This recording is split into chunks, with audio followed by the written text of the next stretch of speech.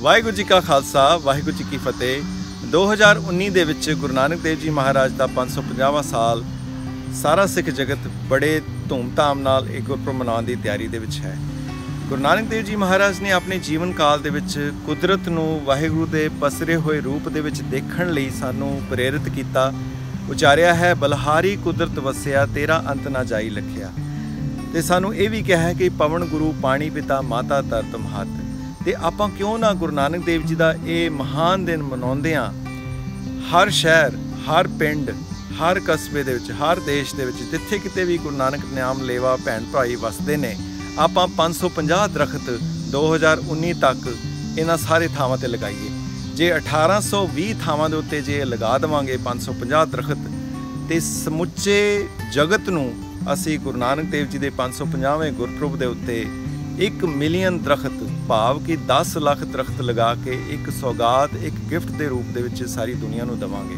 ਜਿਸ ਨਾਲ ਜਿਹੜੇ ਬੱਚੇ ਨੇ, ਬਜ਼ੁਰਗ ਨੇ, ਪਸ਼ੂ ਨੇ, ਪੰਛੀ ਨੇ, ਧਰਤੀ ਨੂੰ, ਸਾਰਿਆਂ ਨੂੰ ਰਾਹਤ ਮਿਲੇਗੀ। ਤੇ ਉਹ ਦਰਖਤ ਲਗਾਈਏ ਜਿਹੜੇ ਕਿ ਉਸ ਥਾਂ ਦੇ ਨੇਟਿਵ ਦਰਖਤ ਨੇ।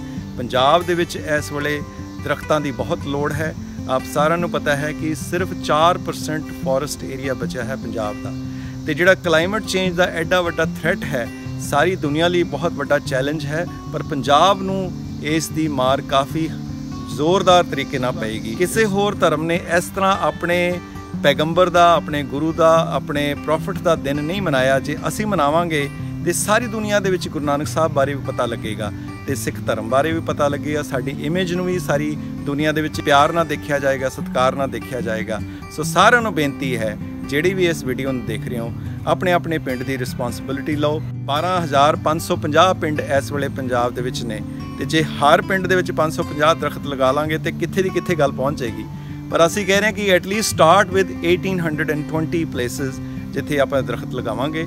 ਤੇ ਅਸੀਂ ਈਕੋ ਸਿੱਖ ਵੱਲੋਂ ਇੱਕ ਥਾਂ ਦੇ ਉੱਤੇ ਤੇ ਕੋਸ਼ਿਸ਼ ਸਾਡੀ ਹੈ ਕਿ ਪਾਕਿਸਤਾਨ ਦੇ ਵਿੱਚ ਵੀ ਅਸੀਂ ਅਜਿਹੀ ਥਾਂ ਜਿਹੜੀ ਕਿ ਗੁਰੂ ਨਾਨਕ ਦੇਵ ਜੀ ਮਹਾਰਾਜ ਦੇ ਚਰਨ ਛੋਹ ਪ੍ਰਾਪਤ ਜਗ੍ਹਾ ਹੈ ਉੱਥੋਂ ਵੀ ਅਸੀਂ ਸ਼ੁਰੂ ਕਰਾਂਗੇ ਇਸ ਮੁਹਿੰਮ ਦੀ ਸ਼ੁਰੂਆਤ ਤੇ ਨਾਲ ਹੀ ਪੰਜਾਬ ਦੇ ਵਿੱਚ ਵੀ ਅਜਿਹੀ ਥਾਂ ਦੇ ਉੱਤੇ 550 ਦਰਖਤ ਲਗਾ ਕੇ ਇਸ ਮੁਹਿੰਮ ਦੀ ਸ਼ੁਰੂਆਤ ਕੀਤੀ ਜਾਏਗੀ।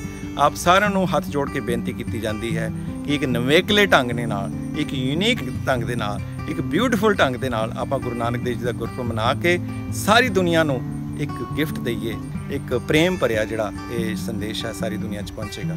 ਵਾਹਿਗੁਰੂ ਜੀ ਕਾ ਖਾਲਸਾ, ਵਾਹਿਗੁਰੂ ਜੀ ਕੀ ਫਤਿਹ।